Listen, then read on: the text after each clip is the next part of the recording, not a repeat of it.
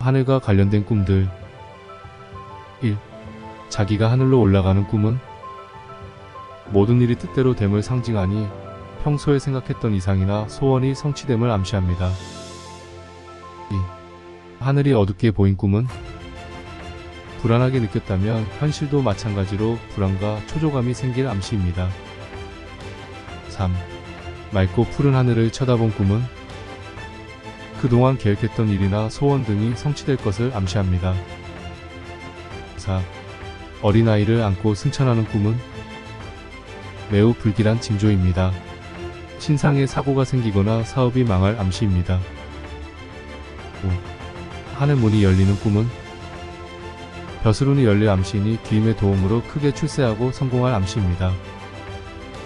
6. 하늘의 천사가 자신을 부르는 꿈은 그동안 애타게 기다렸던 사람이 나타남을 암시합니다. 7. 하늘에서 내려오는 꿈은 주위 사람들에게 조롱 또는 경멸을 당하거나 구설수가 따름을 암시합니다. 8.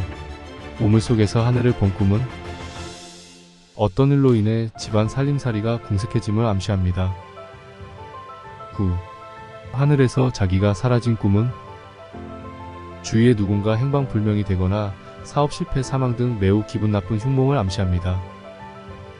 10. 하늘의 선녀가 춤추는 꿈은 남성은 이상적인 여성을 만나겠고 여성은 예능으로 명성을 떨칠 암시입니다. 11. 열기구가 하늘에 뜬 것을 본 꿈은 장시간 소모되는 사업이나 계획에 휘말리게 되니 조심해야 할 암시입니다. 이상으로 마치겠습니다. 감사합니다. 건강하고 행복하세요.